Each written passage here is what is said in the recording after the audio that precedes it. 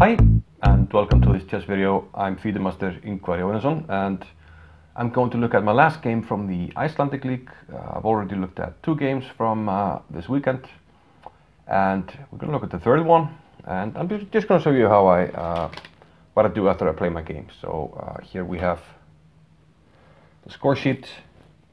That's my name, Ingvar Jóhannesson, and my opponent, Sigurður Sigfússon.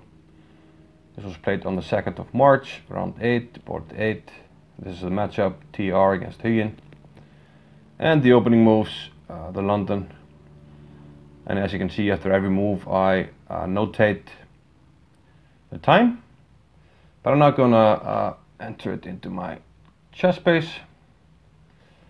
And let's have a look at our normal environment and enter the game. Okay, so here we are, and I've fired up uh, a blank board in ChessBase, so I'm going to now uh, enter the game from the score sheet. Usually I do this right after the tournament, but uh, yeah, I've been enjoying some rest after uh, the stressful weekend. So I had the white pieces, and so I'm not looking at it yet with a computer. I'm first going to enter the game and maybe give you my thoughts. Knight to f3, and my opponent played the King's Indian. Actually, I thought for two minutes on my first move. We, plant, uh, we played plenty of games before. Actually, I have one very uh, exciting game that I now remember on my channel against the same opponent. Also played in the Icelandic League. Uh, yeah, one of the more exciting games I've played ever, and yeah, I'll put a link to that and encourage you to check it out. Very exciting game. So we have some history.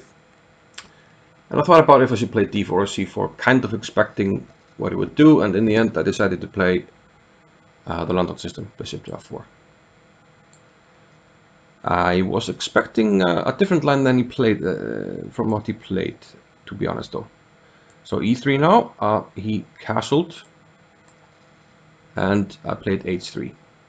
Bishop e2 is slightly more common and I believe considered slightly more accurate as uh, h3 isn't necessary yet and it's better to be castled early against some early c5 lines. But I thought he would play lines with b6 and in that case I sometimes like my bishop on d3 so I wanted to see what he did. So h3 but he played d6 so he hasn't really uh, revealed his hand. He's playing a King's Indian setup, and here I have to uh, select a move, and Bishop e2 is the most common move. I went with that. And here he surprised me. He played c6. And when he did that, I was expecting him to go for this usual uh, King's Indian tableau setup with uh, knight here, and maybe queen here, and e5, and maybe e4. I'll put my bishop on h2, and I'm quite happy with these positions for white. So I was happy to see that. And I castled. Did take five minutes. But for some reason I didn't really um, think about the move that he made. In this position, the uh, most common move by far is knight b to d7. But he did play b5. Which surprised me uh, a little bit. And I thought here for 11 minutes, which is... Well, that's too much when you have only have 90 minutes for the game, but I wasn't quite sure how to proceed here. We thought after the game maybe I should already start nibbling at the pawns with maybe a4, even c4, probably a4. But uh, I kind of couldn't uh, figure out what I wanted to do, and this move is usually useful because when he plays e5 I have to play it anyway, so it's kind of uh, yeah, prophylactic move in a way. So I just wanted to see what where he was going with this. Uh, he played bishop to b7. And here I kind of decided, instead of attacking uh, this pawn here with, with a4, I decided to go for action in the center with knight b to d2. And since he's not yet ready with e5, especially after knight here, I decided to go for uh, action in the center and play e4.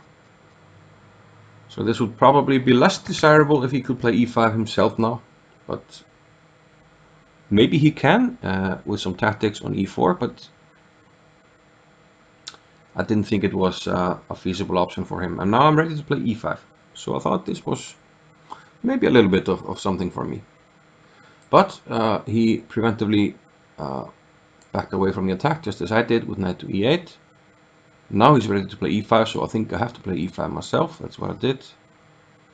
He took, uh, I took back with the pawn. I did think a bit for seven minutes. And I was taking too much time in the opening, and at this stage I'm already uh, 20 minutes down on the clock. Now, uh, I have some ideas of playing e6, maybe not immediately, but my opponent didn't want to allow that, and he played knight c7. It's also a natural blockading square for the knight. And here again, I thought for a long time, 13 minutes. And wasn't sure really where to go, what to do. Uh, I decided on knight to b3. Seems to me like there's one game that uh, has seen that move. Um, yeah, I was thinking also about c4, but I thought this was clever because I'm threatening to go here. And I did, uh, yeah, I thought he would play a5 or knight e6. In the game he went a5. Uh, but if knight e6, yeah, yeah, that, then I can uh, think about knight a5. That was the uh, one of the ideas. I can also um, play knight d4 or uh, or go c4. c4 was one of, one of my ideas as well. But knight a5, queen takes a5, this hangs is also an idea. But I did play a5. Uh, here I thought I was getting an edge because uh, I played queen d2. And this, okay, connects my rook, so I'm ready to put something on, on d1. And I'm also attacking the pawn. Um, he played knight e6, protecting the pawn. And now rook fd1.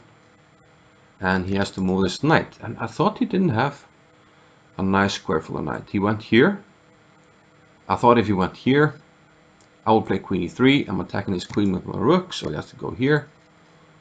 And I thought I had a little something something. Uh, I mean, I have some space advantage because of this pawn. And I thought uh, the pin could be a little bit annoying. I didn't see immediately how to exploit it, but it felt like there should be something here. First idea I looked at was knight g5, but he does have uh, to h6 there, so that's not a feasible option.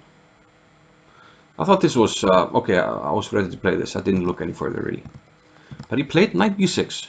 And, uh, and just as he played it, he kind of let out a little chuckle like, you know, like he was unhappy with something. And I just thought it was because uh, he thought he was getting a worse position and I played the move I was attending uh, pretty quickly, almost immediately. Uh, but I probably had a better move, which I missed. So why to move? What would you play here? It might be a natural move, it might be a tactic. I'm not giving you any hints. So okay, assuming you paused and uh, thought about it. In the game I played queen e1, which I thought was uh, pretty nice, forcing him to play knight d5 because otherwise I take the pawn. And then I play c4. This is what happened in the game, knight d5 and c4. And I thought this was giving me uh, an edge. I did, however, uh, have a have a move that I did not consider during the game.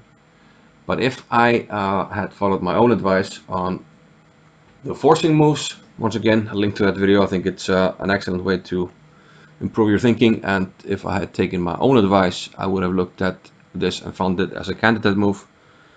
But uh, being down on the clock, uh, 33 minutes, I decided to play my move immediately. So I missed the move queen takes a5.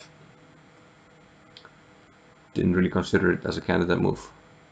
And this was a, wins a pawn because if he takes, I take here. And the bad news is that once I take on a5, his bishop has to retreat to a miserable square on a8, and white will be up pawn. Probably a winning ending because I can easily make a pass pawn on the a file eventually. Um, other moves, uh, this doesn't really really help. It just puts my rook on uh, an open file. You have to take the queen, and knight takes, and you again have the problem with the bishop. He might have gotten some counterplay, and this I did check on my phone after the game. Uh, that he can play queen c7 here, and it's actually not super clear. But like during the game, this this felt.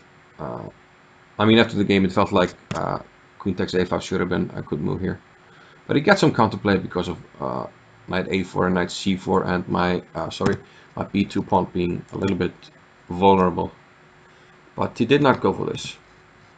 Well, I did not go for this, so uh, we didn't have to find out what would have happened. So okay, I played queen to e1, uh, knight d5, and I played this c4 move.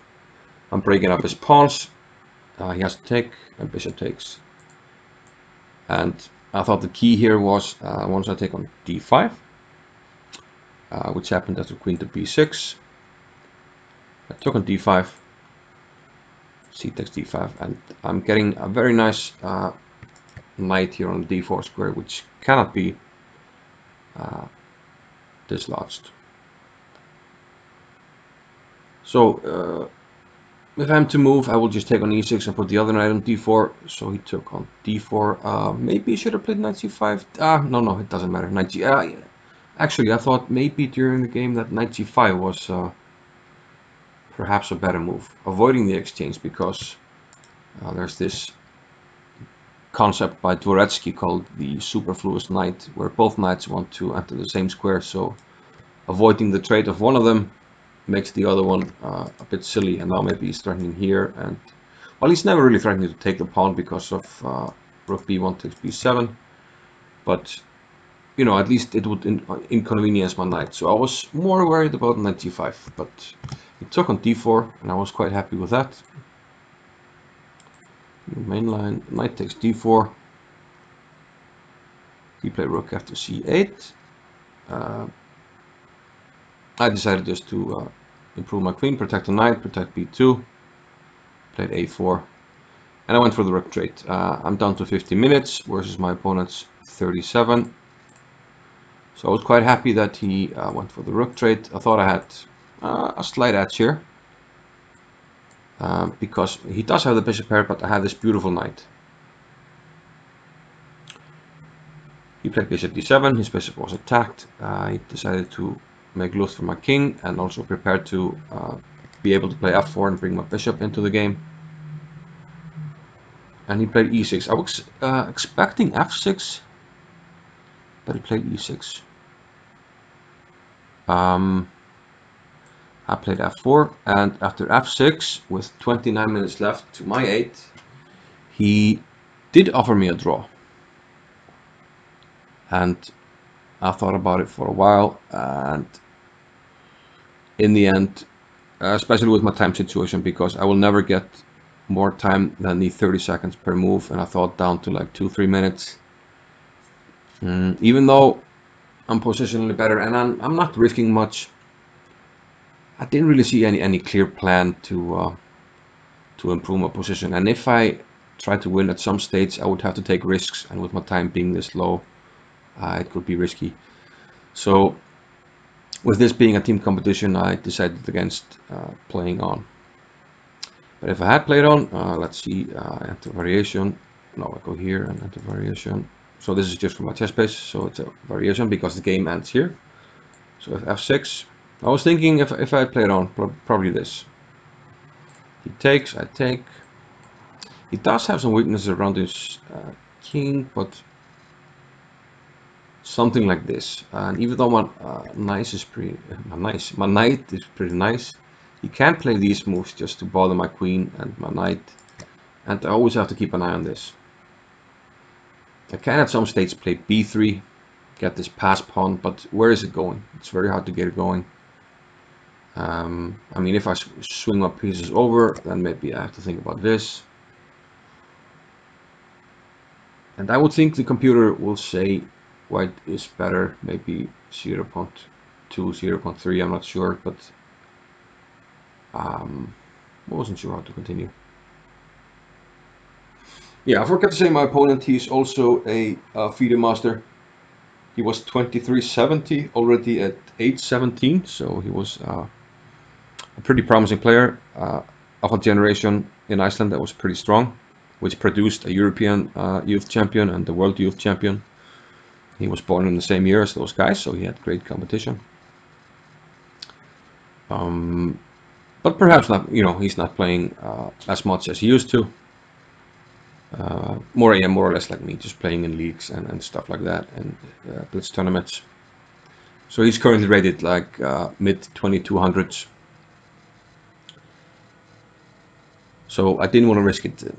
And yeah, I was thinking if I was playing a weaker opponent, perhaps I would have. Uh, but that's a different story. And if we should be playing different against different opponents, I think we should. But uh, yeah, yeah, it's a, a different discussion. So anyway, uh, this was uh, agreed drawn, and you know, having won the other two games and increasing my rating a bit, I, I was happy to uh, and on a good note and watch the, the final round of the weekend where, where I had the day off.